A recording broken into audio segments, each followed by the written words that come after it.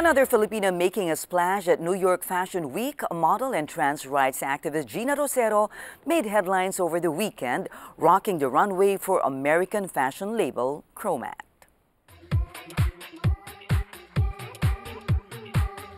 Rocero was among the diverse cast of models featured, which included women who were plus size, disabled, and a woman wearing a hijab.